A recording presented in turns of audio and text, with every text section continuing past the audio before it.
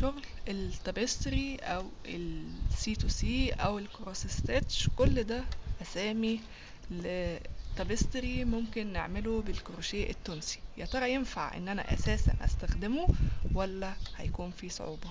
السلام عليكم. ازيكم؟ عاملين إيه؟ ان شاء الله يا رب تكونوا بألف خير. أهلا بيكم في فكرة جديدة.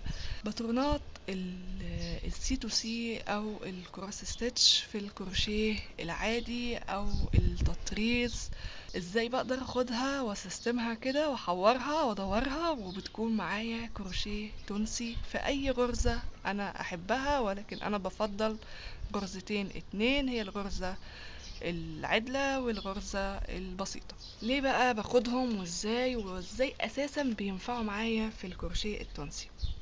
بكل بساطة إحنا اشتغلنا قطعتين اتنين اشتغلنا قطعة القطعة ديت بتاع بندق كان خروف للعيد بورتريه بسيط واشتغلنا القطعة دي كانت تنفع بورتريه وأنا عملتها خدادية بسيطة فما كانش فيه مشكلة معايا ولكن أنتم ما فهمتوش أي حاجة عن الباترونات دي.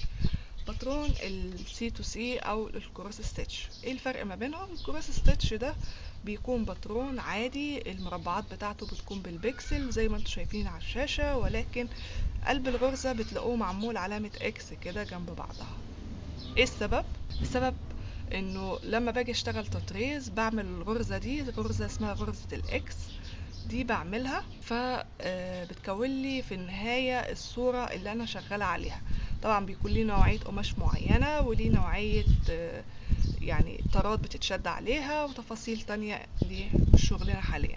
ولكن أنا باخدها إزاي واستخدمها في الكروشيه التونسي؟ ببساطة أنا بتعامل بالبكسل مش بتعامل باللي جوه البكسل. يعني المربع جوه X أو ما جوهوش X ده مش هيفرق معايا. أنا باخد المربع ده بعرف بس بيهمني إيه؟ عدد المربعات اللي جنب بعضها عرض وطول.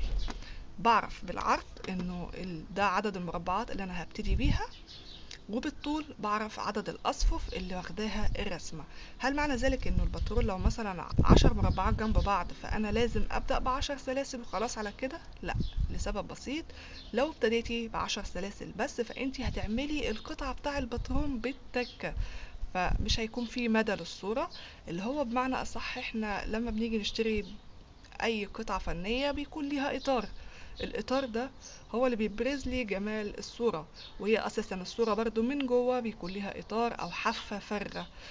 ده عشان أبتدي برضو أبرز جمال الرسمة بتاعتي. فما بال أنتي لما بتكوني بترسمي بالخيط أكيد برضو لازم تسيبي مدى للإطار ده. بسيب مدى للإطار من تحت وبسيب مدى للإطار من الجنبين وبالطبع طبعا من فوق.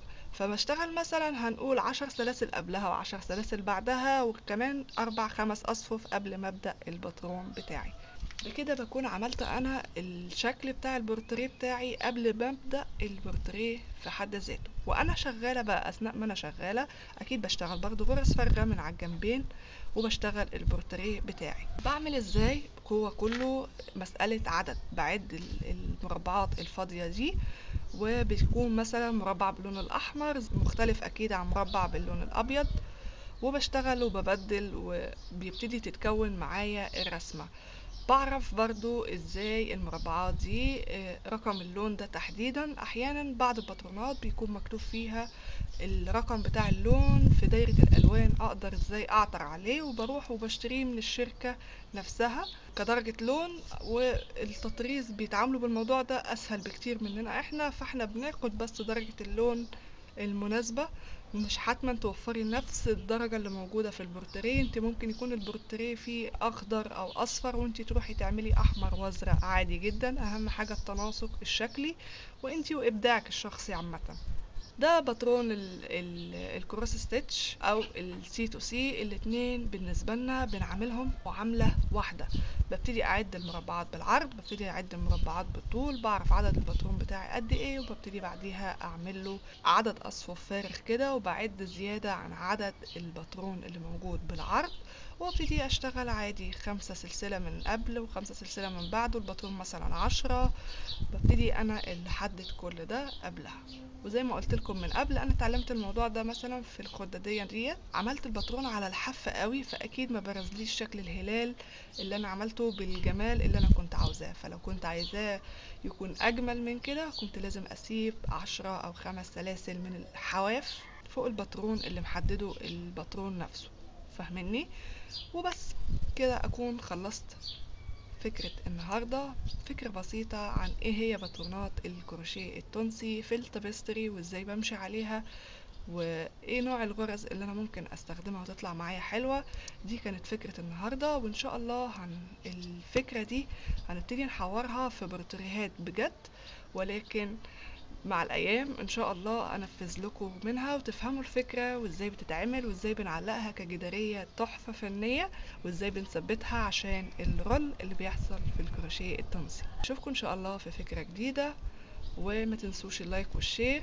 ده بيدعمني جدا وبيوصله لأكبر عدد من البني آدمين اللي عايزة تستفيد من المعلومات دي. أشوفكم إن شاء الله في فكرة جديدة. مع السلامة. bye.